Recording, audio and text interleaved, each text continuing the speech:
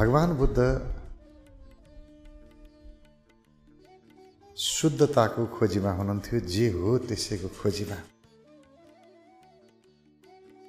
भगवान् बुद्ध धारणा कल्पनाभन्दा अलग हुनुहुन्थ्यो। भगवान् बुद्धले कुनै कल्पनाको कुरालाई मान्नु भएन। सत्यको पक्षपाती हुनुहुन्थ्यो।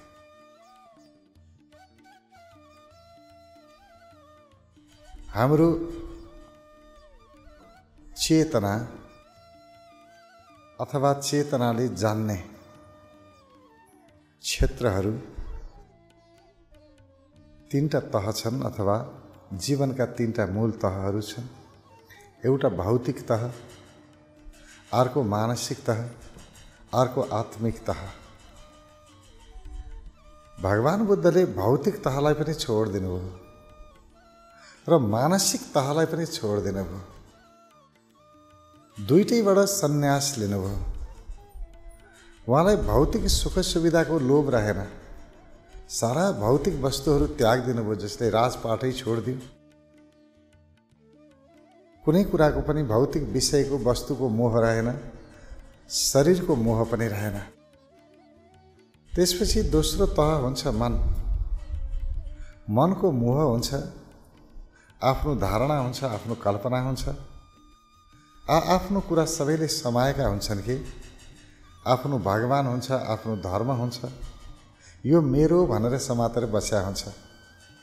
यो चाहिँ मेरो भने हुन्छ। यो मूर्ति मेरो यो भगवान् मेरो।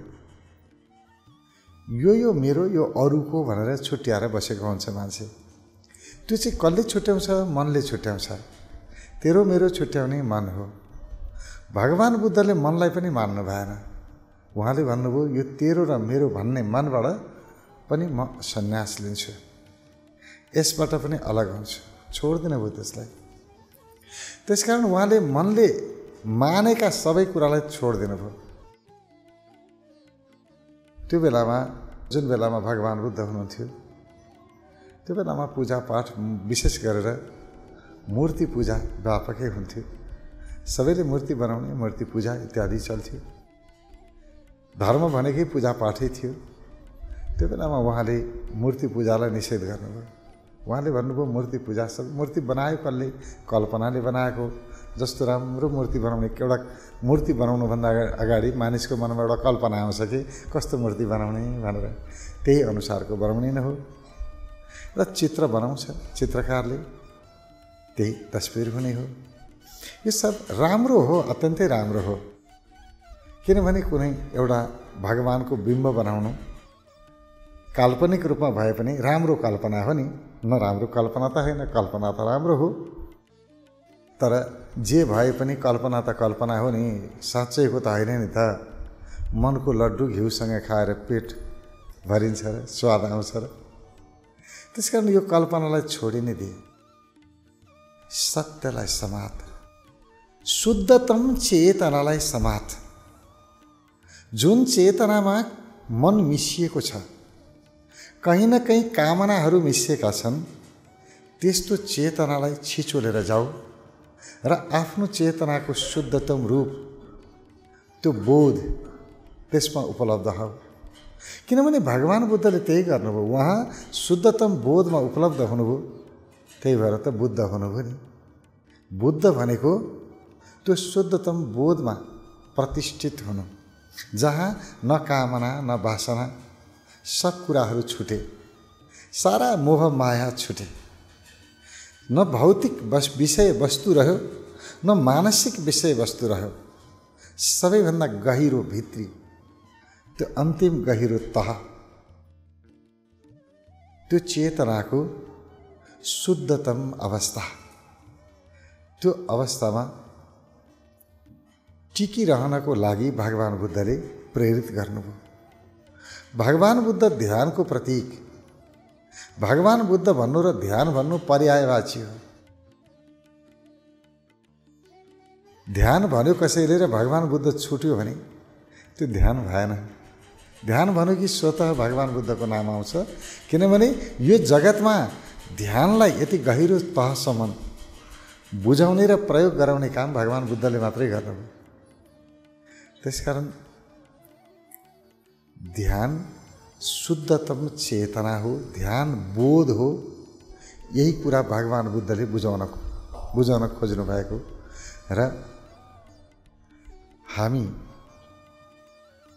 अत्यन्तै सौभाग्यशाली छौँ कि हामी आज बुद्ध पूर्णिमाको दिन भगवान् बुद्धले जहाँ लैजान खोज्नु भएको हो बोधमा मूल ध्यानमा मूल केन्द्रमा शुद्धतम चेतनामा भगवान् बुद्धले पुर्याउन खोज्नु भएको हामी त्यही बाटो हिँडिरहेका छौँ आजबाट बोध विज्ञान यो महाज्ञानको कार्यक्रमहरू आजबाट सञ्चालन भइरहेको छ यो दस दिने कार्यक्रम हामी दस दिनसम्म आफूभित्रको त्यही बुद्धलाई खोज्छौँ प्रत्येक व्यक्तिभित्र त्यो बोध चेतना छ त्यो बोध नभएको कोही पनि व्यक्ति छैन बोध भनेको मेरो हुनु मेरो मूल केन्द्र मेरो आफ्नो अस्तित्व। आफ्नो अस्तित्वमा स्थिर रहनु नै बोधमा स्थिर रहनु हो। जहाँ मेरा रहेनन् म रहेँ तर मेरा चाहिँ छैनन्। मलाई अशुद्ध बनाउने बिगार्ने मेराहरू रहेछन् जहाँ मेराहरू छन् त्यहाँ समस्या सुरु भइ नै गयो। जहाँ शुद्धतम म बचेँ मेरा रहेनन् त्यहाँ कुनै समस्या रहेन। त्यो ममा प्रतिष्ठित हुने भगवान् बुद्धको मूल विधामा हामी आजैबाट अगाडि बढिरहेका छौँ। भगवान् बुद्धले ठुलो सन्देश दिनुभयो। त्यो बोधमा उपलब्ध हुने बाटो पनि बताउनु भयो भगवान् बुद्ध भन्नुहुन्छ म को हुँ भन्दा आफ्नो परिभाषा होला फेरि मान्छेले आफ्नो परिभाषा दिएर मैले जसरी बुझ्छु मेरो कुरा यो। यो नितान्त मेरो आफ्नो व्यक्तिगत अनुभव हो। कुनै शास्त्रसँग मिल्ला नमिल्ला मलाई थाहा छैन। र कसैसँग मिलाउने मेरो कुनै इच्छा पनि होइन। आफ्नो बोध हो आफ्नो अनुभव हो। मेरो अनुभवले के भन्छ भने भगवान् बुद्ध के भन्नुहुन्छ? ओम भन्नुहुन्छ पहिला। अनि कस्तो ओम त भन्दा मणि। मणि, यानी कि प्रकाशित मणि जस्तो प्रज्वलित। प्रकाशित ओम, प्रज्वलित ओम। अथवा ध्वनि हो, ओम भनेको ध्वनि हो। त्यो ध्वनि कस्तो छ?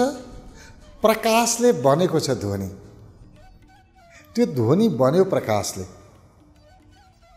प्रकाशपूर्ण, प्रकाशले ओत प्रोत ध्वनि। अथवा प्रकाशको ध्वनि। ध्वनि भन्नु र प्रकाश भन्नु एउटै किनभने उहाँ भन्नुहुन्छ, भगवान् बुद्ध भन्नुहुन्छ, मणि। मणि जस्तो। ओम मणि। अनि भन्नुहुन्छ पद्मे। पद्मे भनेको पद्म यानि कि कमल, कमलको फुल। अत्यन्तै सुन्दर। सुन्दरताको कुरा गर्दा सौन्दर्यको प्रतीकको रूपमा कमलको फुललाई लिइन्छ। कमलको फुल जस्तो नरम र सुन्दर अर्को वस्तु छैन रे। सबैभन्दा प्यारो सबैभन्दा सुन्दर। कमलको फुल जस्तै सुन्दर। ओम, मणि, पद्मे, हौ। यसैलाई तिब्बतियन भाषामा भन्दाखेरि ओम, माने। माने भनेको मणि, प्रकाश। पेमे भनेको कमलको फुल। त्यो प्रकाशमय, त्यो अत्यन्तै सुन्दर।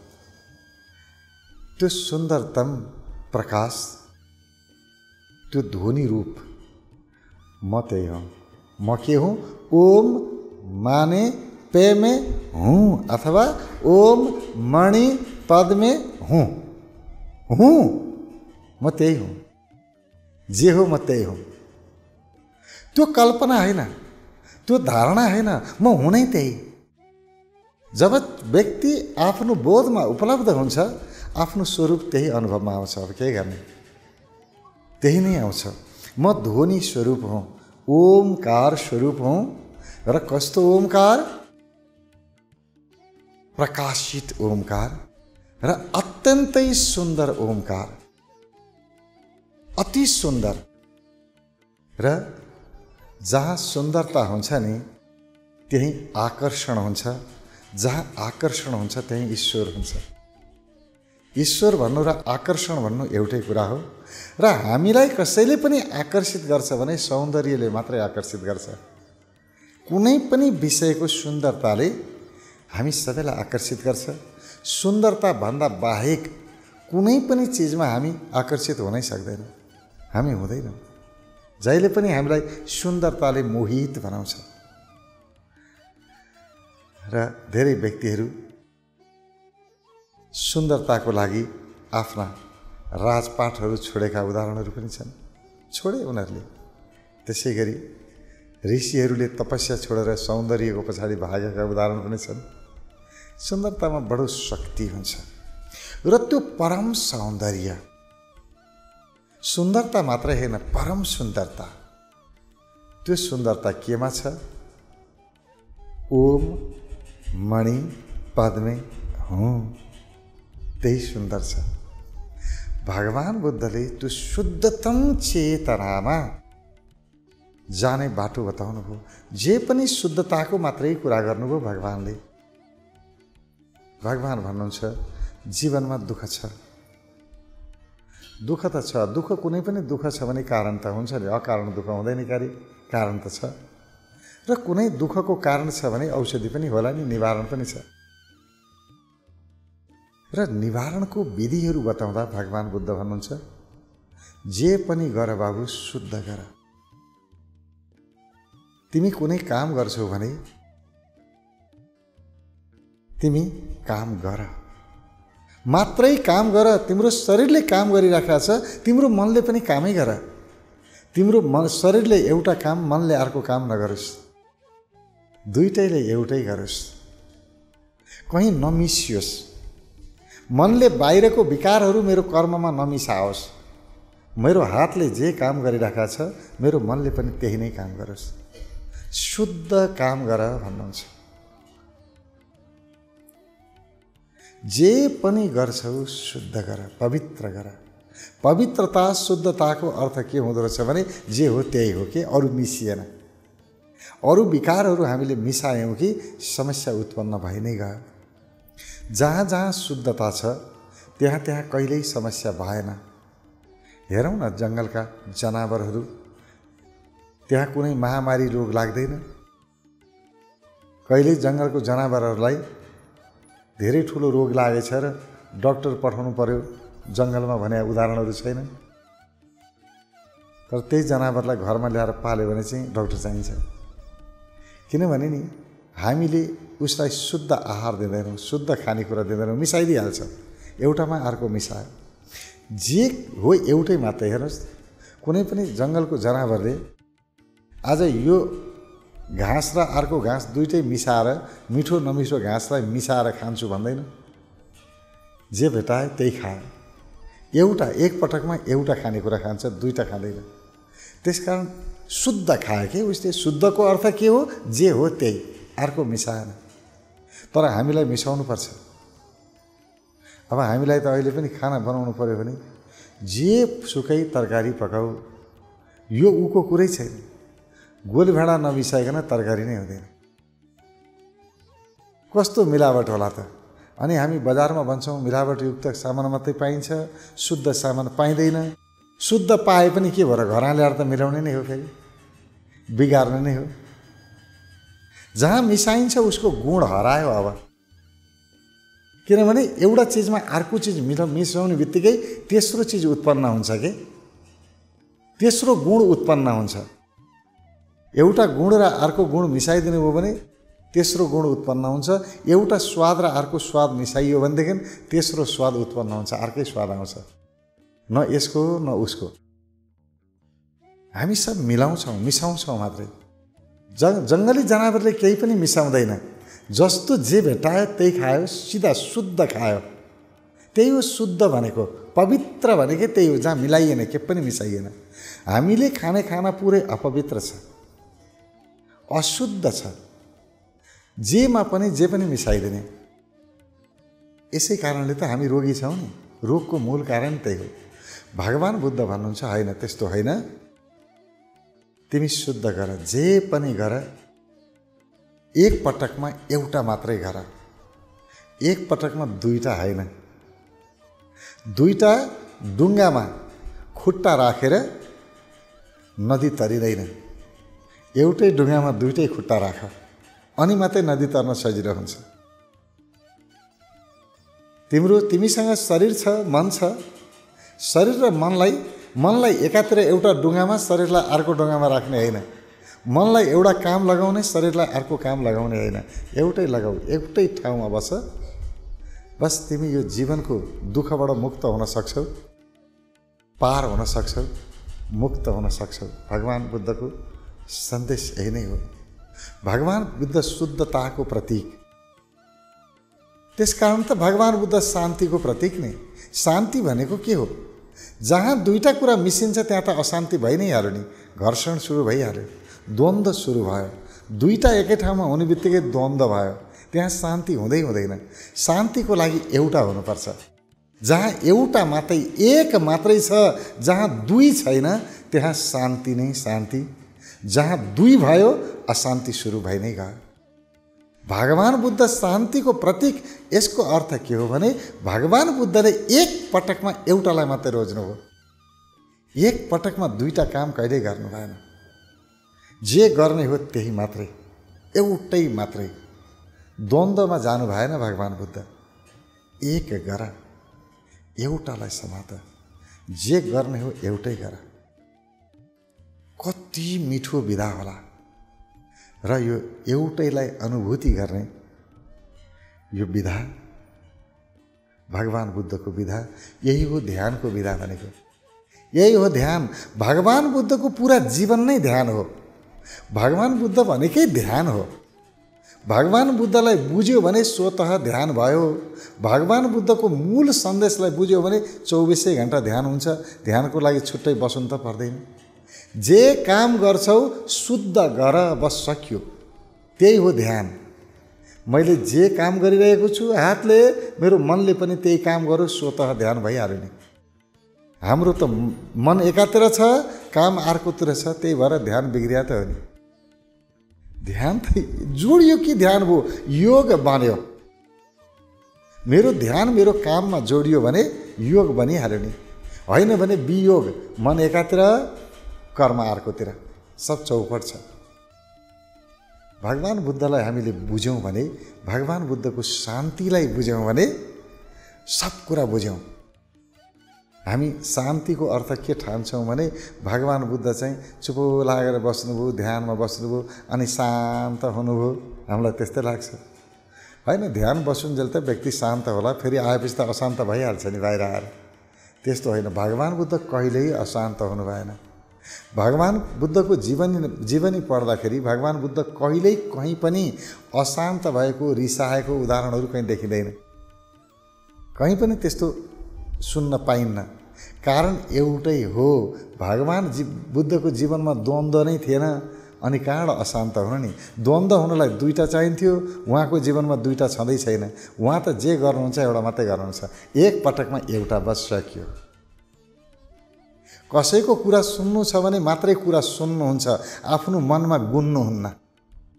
हामी त सुन्ने र गुन्ने एकैपटक गर्छौँ। उसले कुरा सुन्दैछ सुन्दा सुन्दै मेरो मनमा कुरा चलिराखेको हुन्छ। उसको कुरा सुन्नभन्दा पहिले आधा सुन्यो आधा सुन्दा सुन्दै आधा भन्नै बाँकी छ उसले। भनिरहेको छ म सुन्दा सुन्दै पख त्यसलाई एकछिनपछि म यसरी यसरी यो जवाफ दिन्छु नि पख न। हामी गुन्न थाल्छौँ यहाँ। भगवान् बुद्ध गुन्नुहुने थिएन मात्रै सुन्ने जसले गुन्दछ उसलाई रिस उठ्छ अब। रिस उठ्नको लागि मनमा कुरा गुन्न थाल्नुपर्छ। सुन्दा सुन्दै जसले गुन्यो त्यसलाई रिस उठ्न थाल्यो अब। जसले गुन्दै गुनेन सुने मात्रै छ उसलाई के को रिस उसले त मात्रै सुन्यो भाइ। सुन्ने बेलामा भगवान् बुद्ध भन्नुहुन्थ्यो भाइ सुन्ने बेलामा सुन अब सकियो। भन्ने बेलामा गुनाउला नि के के भन्ने हो पछि। पछिको कुरा हो त्यो। मेरो भन्ने पालो आयो र भन्नु पऱ्यो भने अनि म मेरो मनलाई चलाउँला। के के गर्ने? के बोल्ने? सोचौँला अनि गरौँला। अहिले त मेरो सुन्ने काम हो सुन। भगवान् बुद्धको मात्रै एउटै देशना भाइ जे गर्छौ त्यही गर। जे गर्ने हो एउटा मात्रै। एक पटकमा दुईवटा काम गर्न सकिँदैन के? एकै पटकमा दुईवटा चिज हुँदैन। एकै पटकमा सुख पनि पाउँछु दुःख पनि पाउँछु। अहिले एकै पटक भनेर हुन्छ र? कि अहिले म सुख पाउँछु कि दुःख पाउँछु? कि अहिले राम्रो हुन्छ कि नराम्रो हुन्छ?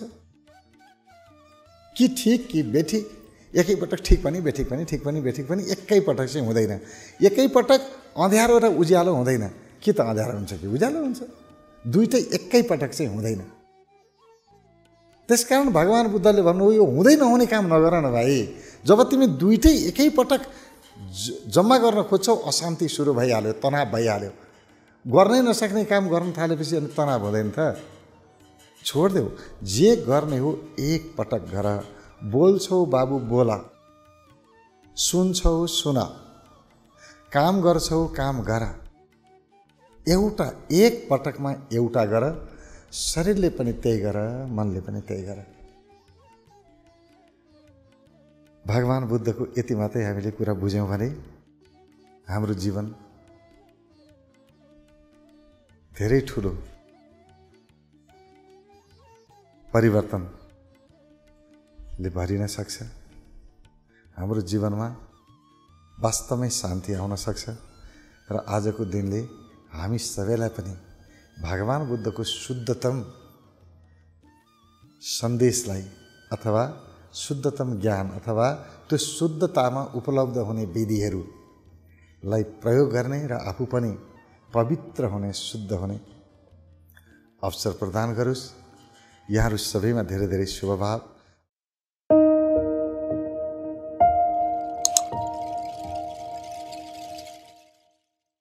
अध्यात्म र व्यवस्थापन मानव मनोविज्ञान। सनातन र नवीनतमको सङ्गम जीवन विज्ञान सनातन र नवीनतमको सङ्गम जीवन विज्ञान